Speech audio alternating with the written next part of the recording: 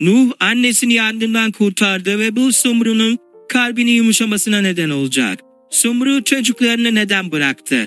Bu sorunun cevabını bu videomda vereceğim ama Nuh ve Melek annelerine kavuşsun. Siyah kalp erken final yapmasın diyenler videomu beğensin, yorumlara final yok yazsın, sayımızı bilelim. Siyah kalp 3. bölümde Nuh'un da konağa gireceğini göreceğiz. Sumru buna dayanamayacak ve Nuh ve Meleği korumaya çalışacak. Sumru'nun çocuklarını bırakıp gitme nedeni annesi. Nihayet Hanım Sumru'yu çocuklara zarar vermekle tehdit etmiş, onlara evlatlık verme konusunda Sumru'yu ikna etmiş ve Samet'le evlendirmişti.